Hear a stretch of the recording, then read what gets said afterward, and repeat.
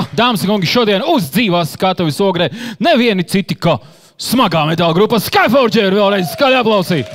Yeah.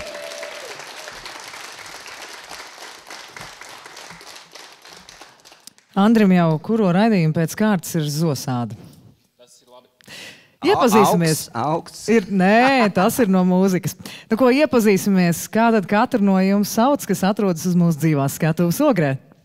Uh, Pēters. Es esmu Edgars, saukts par zirgo. Alvis. Artūrs. Jā, nu, es pieļauju, ka daudz varbūt nemaz nezināja, kas, kas ir šie debesu kalēji, ja mēs tā varam teikt. Un tad uzreiz ir eh, loģiski jautājums, kā tad uh, veidojās Skyforger? Jo sākums ir diezgan pasenu meklējams. Un, Un, un sākumā, cik saka, biogrāfijā var atrast, tad, tad tas pats pirmsākums ir meklējums vēl pie citas grupas klāt. Nu, jā, mēs kā jaunieši, kas vēl tehnikumos, skolā mācījās, aizrāvāmies ar smago mūziku un gribējām spēlēt kā mūsu elki. Un tad uh, dibinājās grupa. Uh, sākumā bija bez greznības, pēc tam bija uh, tāds Grandmaster Dead. Un tad tikai 95. gadā izveidojās Skyforger. Nu, ceļš, es domāju, bija garš. Sākumā bija garš, man liekas, pat 89. gadā, vai vēl pirms tam viss tas sākās sen, senos laikos. Bet nu jau es atkal vēlos redzēt Andrim tās skudriņas. Un tieši tāpēc es gribu pajautāt, kāds tad būs nākamais skaņdarbs, dziesma, ko jūs spēlēsiet? Nākamais ir uh, no Kurbada, albums Kurbats, kad bija ierakstīts 2010. gadā. Jā, un ar ko mēs esam arī ar izrādēm piedalījušies no šī albuma tieši titula dziesma par Kurbaģēvas dēlu.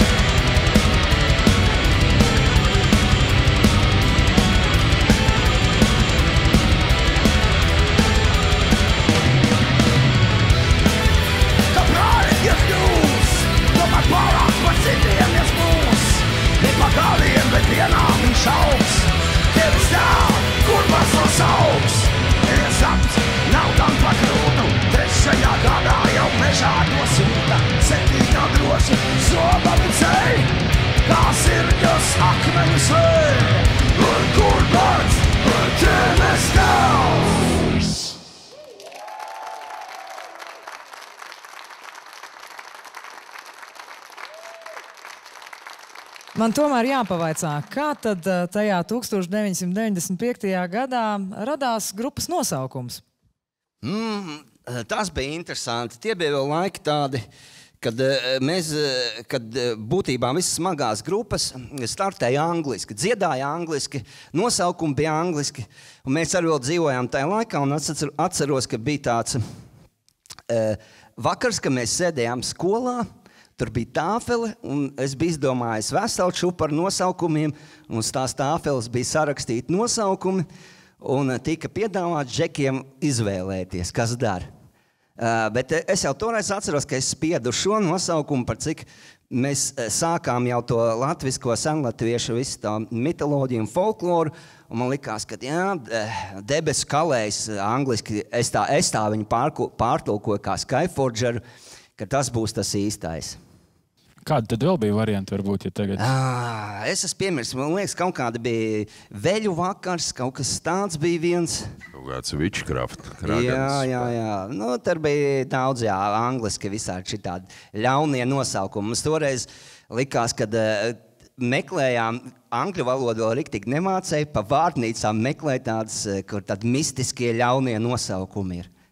Katrā ziņā man šķiet, ir trāpīts desmitniekā ar nosaukumu. Tur Nu, mēs cerams, varam piekrist. Ar to jau vēl nebeidzās. Vēl jau bija baigi svarīgi, lai tas šriftiņš arī derētu, un tas tika uz tāfeles tur zīmēts un pa gabalu skatījās. Varbūt to es vairs neatceros. Jums bija viens garš, radošs vakars droši vien. Tam visam procesam. Kā tu nolēmi, kā jau teici, eh, sākumā dziedāja visi angļu valodā, vairāk vai mazāk. Kā tu nolēmi, ka pie tām senču saknēm jāķerās klāt un ka to var ietērpt tādā mūzikā? Nu, eh, pats galvenais bija tas, ka mēs sākām eh, ar to, ka mēs gribētu izmantot eh, latviešu folk elementus savā mūzikā un tautas dziesmas. Un tautas dziesmas ir latviešu, un būtībā viņas pārtulkot angliski gandrīz neiespējams, lai to jēgu. Un man liekas, ka, ja to darīs, tas izklausīsies nenormāli muļķīgi. Ja būs kaut kāda pusdziesma angliski, pēc tam kaut kas latviešu. Un, eh, un otrs moments bija tas, ka, ja jau mēs sākam tādu mm, virzienu uziet, tad latviešu valoda ir viena no tās pašas Latvijas kultūras sastāvdaļas, kad arī mums pie tā ir jāpaliek un jādzied latviešu. Tieši tā, tāpēc arī nākamā dziesma būs mūsu latviešu valodā. Jā, jā. Arī e, paturpinot to pašu e, kurbada tēmu, nākamais gabals saucās Vēlnu kāvējas ar mazu ievadu, e, tautas dziesmu tādu, kur e, e, e, kurbats tai stāstā nonāk jūras krastā un satiekās ar eh, debesu kalēju un lūdzu viņam izkaut zobenu. Lai to zobenu izkautu, tad sākumā ir tādi maģiskie vārdi jānodzied Edgaram, lai tas vispār notiktu. Tad vēlnu kāvēs ar mazu ievadu.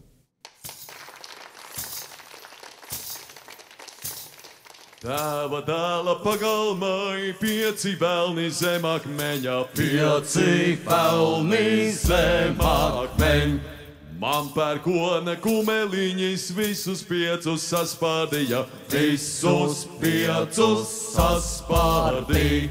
Ko var vēlni man darīt, ko manami kumeļami, ko manami kumeļam? Es varu vēlnu samīdīt zem kumeļa kājiņām, zem kumeļa kājiņām.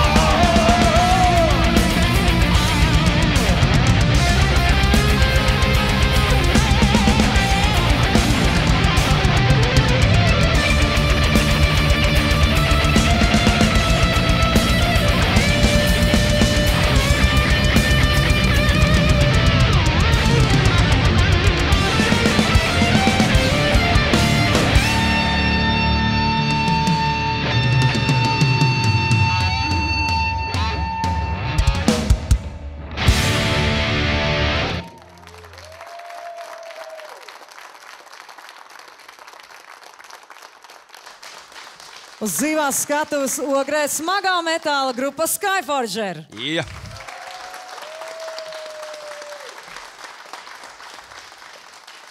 Mēs jau raidījuma sākumā runājām par grupas rašanos, arī par nosaukumu izveidi, arī par to, ka nosaukumā tie burti tika radīti speciāli, rakstīti, zīmēti. Man uzmanību piesaistīja tieši šajā logo burts O. Jā. Izskatās tā kā pēc pērkona dievības, bet ir kaut kāda tāda kā papildinājuma. Varbūt kāds no jums var pastāstīt, kas tad tā ir par zīmi. Stāsts tur ir interesants. Ir sevišķi skatoties modernajā ā, visā tajā mazrazmā, kas pasaulē notiek. Sākumā mums, bija, jā, e, sākumā mums bija uh, ugunskrustā, O burta vietā ugunskrusts. Un, kad mēs sākām braukt pa Eiropu, tad izrādījās, ka um, tur ir milzīgas problēmas ar šīm lietām. Mūs sāka uzreiz nodēvēt par nacistu grupu. Lai spēlētu koncertos tālāk, eh, bija mm, tāds variants, ka kaut kas jānomaina, eh, ja grib spēlēt. Un tad eh, es, man bija, kad es tos logo zīmēju, man bija divi varianti. Viens bija tāds ugunskrusts, un viens bija šāds. Te. Vienkārši tā ir tāda mm, tā kā O-burts stilizēts, stilizēts latviskajās zīmēs. Bet tālu mēs netikām, jo izrādījās, ka šī zīme, tas O, tāds, viņš ir ļoti līdzīgs vikingu rūnām. Un, kur jau vikingu rūnas ir, protams, arī nacisms ir šodien. Bet nu, kaut kā pagaidām mēs jau lejam cauri. Pagaidām vēl lejam cauri. Te jums, principā, kādreiz bez maz katrs koncerts jāiesāk ar mazu lekciju par latviešu zīmēm, un tad var turpināt. Nu, jā, nu mēs pat speciāli uz albumu to rakstījām, ka tam nav nekāda sakara. Bet, uh, Tur, kā teikt, cilvēki ir uh, domā vienā ceļā, un tur ir grūti to tā iestrādāt. Nē, nu, es domāju, kas jau ir pastāvīgie klausītāji, mūsu draugi un fani. Tie visi saprot, un viņiem lieku jautājumu nav. Bet tas ir tas nu, tāds plašais tas politkorektums, kas valda Eiropā un viņas, viņas ietvaros, un ar to mums ir zināmā mērā grūtības. Bet ir vēl viena spēka zīme, vīrišķīga zīme, ko es redzu uz dzīvās skatuves ogrē tieši pašā priekšplānā. Pastāsti varbūt arī par to zīmi. Nu, teiksim tā, ka visas šīs te zīmes, kas ir eh, senajās jostās, latviešu, eh, nu, vispopulārākā lielvārdas josta, ja, neviens eh, būtībā nezina, ko viņas nozīmē. Šīs zīmes. Viņas, eh, tas, tā kā, man liekas, tas eh, vienādojums beigās ir tā, ka viņas tādas ir geometriskie raksti. Un tad, em, eh, tā, kad bija pirmā Latvijas brīvvalsts, tad eh, uz tāda romantisma viļņa tika izdomāts, ko šīs zīmes varētu nozīmēt. Pieņemsim, šī zīme kā ir tā kā ūsuņa zīme, bet vai tā ir bijis, to neviens nezina. Tādu pierakstu un atmiņu nav, ka viņas ir bijušas. Jo jau 19. gadsimtā eh, tās zīmes ir atrastas pieņemsim, uz kaut kādiem krēsliem, uz tādiem eh, piedarumiem, uz galdiem, ja, kur cilvēks eh, tā kā parakstu izmanto zīmes šīs senās. Rakstīt neprā, ne, neprata un izmantoja tādas šīs latviskās zīmes, tā kā savus parakstus. Toreiz zināt, ka šis krēsls piedara eh, tai saimniecībai, tas tai, katram tur ir sava zīme. Bet eh, pa lielam, jā, šīs senās eh, zināšanas, gudrības un kāpēc tas, tas ir visi pazudis. Un vēl kas ir interesanti, kad mēs neesam tādi vienīgie. Baltkrieviem apkārt un lietuviešiem arī praktiski gan arī identisks visas šīs zīmes. Es domāju, ka viņas nāk no tādas uh, eiropiešu pirmtautu kaut kur senajiem laikiem, kad viņš eh, radās visi šie tādas tie geometriskie raksti. Bet, kā, kā jau es teicu, ko tas nozīmē, mēs tik varam minēt. Nu, varbūt ka tām lietām vienkārši nu, liekot tās zīmes, varbūt kaut kādu spēku piešķirt, lai viņas kalpotu. vi- Jā, jā, nu, un viss būtu- viszināmākais tas ir tā svastika, ugunskrusts. Tā ir visām, gandrīz visām tautām pasaulē viņa ir bijusi, un viņa ir kā la, laimes zīme, kas dod veiksmi. Nu, tik daudz tas ir gan zināms. Jā. Jā, jūs, jūs arī, nu, kā saka, savā nišā spēlējot ar šīm zīmēm uz skatuves, ir vēl, teiksim, nu, šīs paganu metāla grupas, kas eh, droši vien ir arī citur pasaulē, kas šīs zīmes nekautrējās un liek uz skatuves. Jā, nu, protams, ka vispopulārākais uh, uh, ir uh, Eiropieši, tas ir vikingi, vai ne? Un tās ir rūnas. Jā. Nu, ģermāņu rūnas, tas ir ārpus uh, Latvijas, Baltkrievijas un Lietuvas, un varbūt ar Krievijas tas, jā, protams, ir rūnas visur. Bet, nu, pat cik mēs zinām, kad sanāca tā, ka Hitlers šīs runas arī ir izmantojis, tad šodien tās ir lielas problēmas, lielas problēmas grupām. Skumji. Jā, Nu, skumji. absolūti, absolūti, absolūti. Labi, es domāju, klausāmies uh, uh, nākamo. Jā.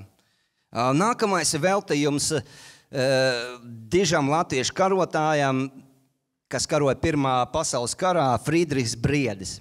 Uh, Viens no pirmajiem, kas iestājās uh, latviešu strēlniekos, viņš pirms tam uh, bija izmācījies kā cara, uh, cara uh, augstskolās, kā mm, paručiks toreiz sauc.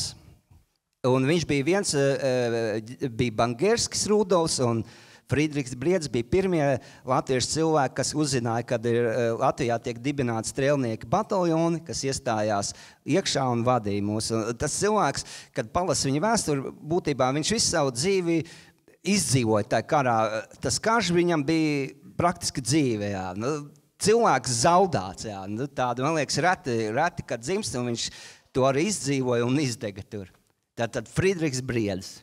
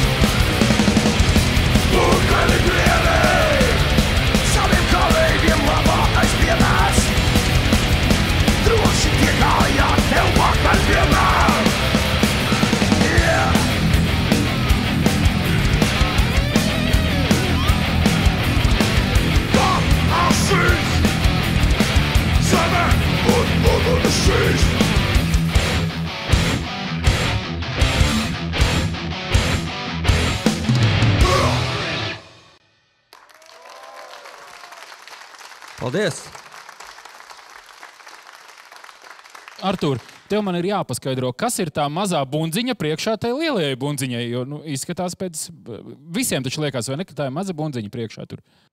Tas ir ā, subbasu mikrofons ā, zemām frekvencēm. Alva, bet arī tev kaut kas ir tāds ļoti interesants. Skatos, ja pa gabalu spēju pareizi izlasīt, attack Jā, tā ir. Vai attack, angliski droši vien, kuram, vai, vai latviski kurš tur attack, izrunā, zina. vai attack, Es neesmu angļu valodas skolotājs, nevarēšu pateikt, kā bet pareizi. ģitāra ir īpaša. Nu, priekš manis, jā. Katram muzikantam sava ģitāra ir īpaša. Bet šo te man pagatavoja meistars no Latvijas, Jānis Kuzminskis, jā, īpaši pēc mana pasūtījuma. Un, tas ir tā kā, ziniet, tā kā, ja man izveidotu personalizētu cimdu, kurš pieguļ perfekti, nu, tad es varētu tā, raksturot šo instrumentu. Un Tev var tur tāda īpaša rakstu zīme ir uz grifa. Jā, tas ir uh, mēnesis krusts, tas mēnesis zīmes četras. Es redzu, kā Elīna tādas būtiskas atšķirības ģitārās nepamanu. Vienīgais, es tā skatos uz Pētera ģitāru, nu, ģitāra sieviešu dzimtē. Es uzreiz sieviešu dzimtes formas pamanu, ka tavai ir savādāks. Tā ir arī kaut kas speciāli īpašs, vai kā saka, iegāja veikalā, eju, baigi labāšu, tā jāņem. Nu, teiksim tā, ka šīs te formas, šī te un ir vēl, vēl dažas citas, tā kā skaitās, heavy metal, smago mūziku, kad spēlē, ka tās ir tās īstās formas. Šis sācās tā kā bulta, flying V. Nu, tad klausīsimies atkal, kā visi šie instrumenti skan. Jā, paklausīsimies, kā viņi skan tīreļa purvā.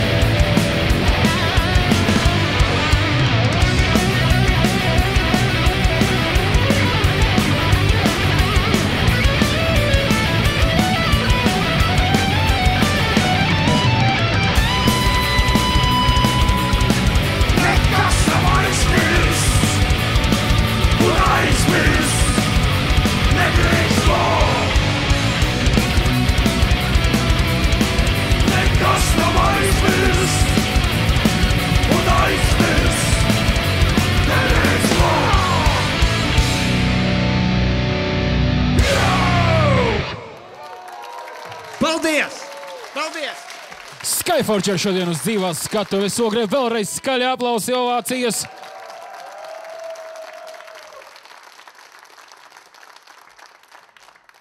Jā, vīri, nu, nevienam nav noslēpums, ka Skyforge ir ļoti daudz koncertu ārzemēs, un palasot to, kur jūs esat uzstājušies, šķiet, nav tikai Ziemeļkorejas. Viss pārējais, viss pārējais eh, ir. Kādas, kādas ir tās, eh, nu, vai tu vienmēr visur, kā saka, tie, tie koncerti vai tie festivāli, kur jūs braucat uzstāties, tās skatuves ir lielas, iespaidīgas, vai ir, ir, ir sanācis visādi? Nē, nē, protams, ka nē. Tās lielās jau ir reti. E, Parastais ir tāds, e, vai kad pa tūrēm brauc, vai te uzaicina pāris tie pagravi. Kā mēs to saucam, tie ir pagravi. Tas ir e, maziņi ūķīši ar sūdīgu bieži vien aparātu, ar e, maz cilvēkiem. E, Tā ir tāda lieta, ka grupas, šī metāla scēna, viņa tāda ir, ka tu brauc, tu brauc tur, tur, tu sarunā šeit, koncerts sarunā tur. Cilvēki atnāk, paklausās, iepazīstās ar tevu grupu ar cerību, ka nākamreiz atnāks vairāk. Nav tā, ka Gribu, milzīgs gribu piebilst, ka eh, šie arī mazie koncerti viņi būtībā bruģē ceļu kaut kam lielam, tālākam, jā. varbūt kādam festivālam vai kādam piedāvājumam interesantam.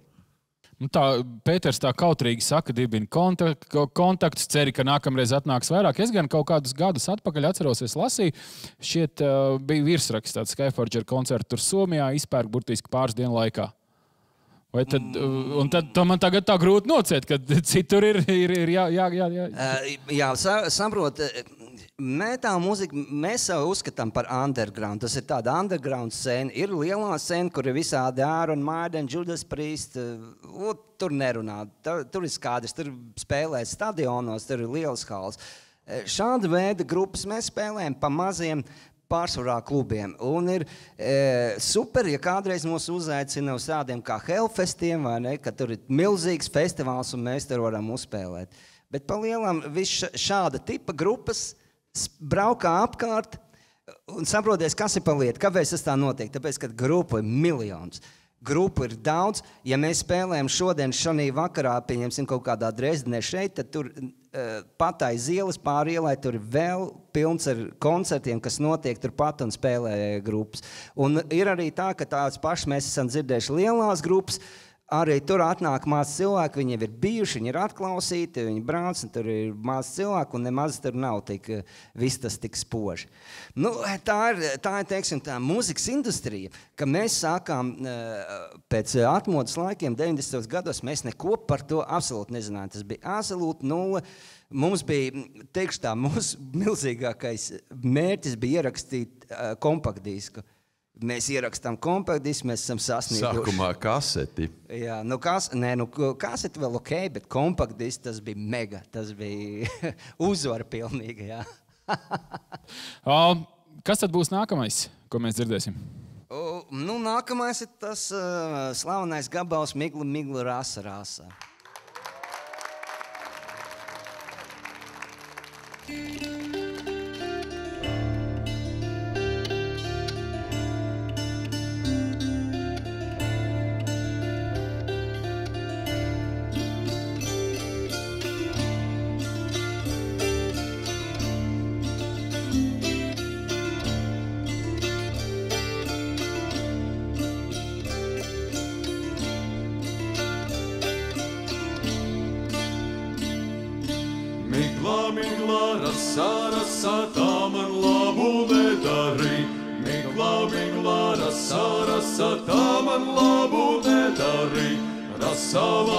kājas mirkā, miglā nozūd kumeliņš. Rasā manas kājas mirkā,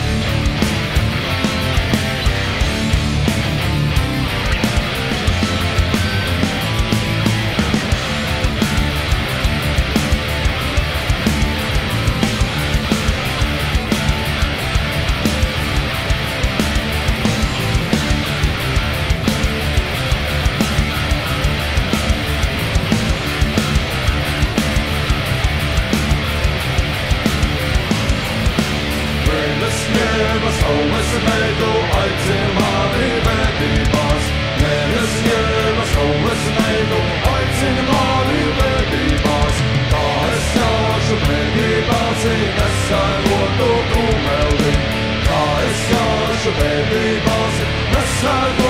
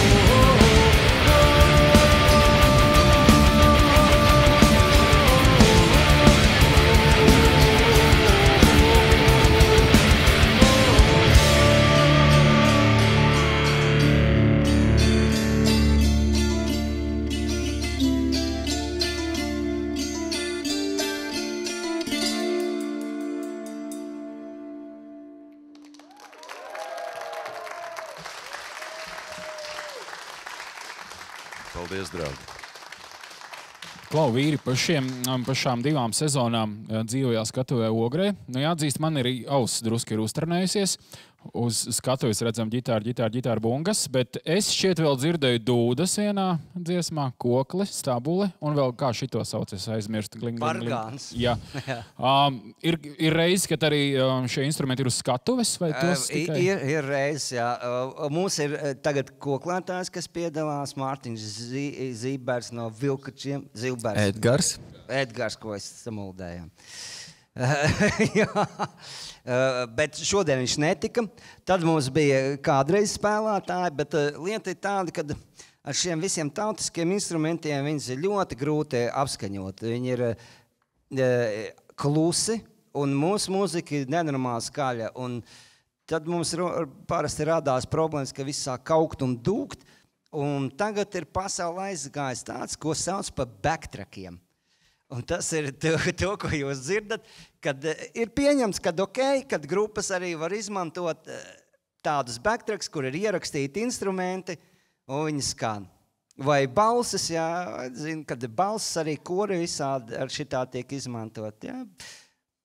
Mēs ar pie beigās pie tā nonācām, kad jā, ja cilvēki saka, ka ok, labi. Bet savulaik jau tos tautas mūzikas instrumentus jūs arī demonstrējāt koncertos un demonstrējāt arī ārvalstīs. Vai tos instrumentus neizmantojot automašīnu, bet, teiksim, lidmašīnu, ir eh, sarežģīti transportēt līdz tai koncerta norises vietai? Nē, nē. Nē, ir vecīgi. Nu, tur, tur taču ir nu, kokli ģīgi, viņu ievietot. Ā, Viņi nu, tā- nevar nē, nu, nekur. labi, viņas nevar ievietot tur, tur, viņiem bet ir salonā. speciāli Salonā bagāžas tu vienība jāpērk, un tur ir diezgan lieli kreņķi. Nu, salonā jau to var Jā, paņemt. jā, nē, nu var, bet Bet, jā, un kas ir vēl interesanti, viņi ir koku instrumenti, un arī viņi briesmīgi ietekmē apstākļi. Ja paliek mitrs, paliek karstāks, viss sāk skaņoties ārā. Arī tāds ir. ieps ir. Jā. Jā, mums arī uh, mazliet papildinot par tiem muzikantiem, arī ir mm, jauns dūdenieks grupā. Protams, viņš ir ļoti fragmentāri uh, no Beļģijas, Jeffrijs, kas mums arī palīdz. un Mēs esam jau dažus koncertus Eiropā spēlējuši ļoti labs dūdenieks, un tā kā mums ir arī nu, ārzemju koncertos labi papildspēki. Viņš caur zūmu mācās. Jūs spēlējat, un viņš pūš otrā galā. Jā, ja? Caur zūmu. Nu, redz, tehnoloģijas ienāk arī šajā mūzikā.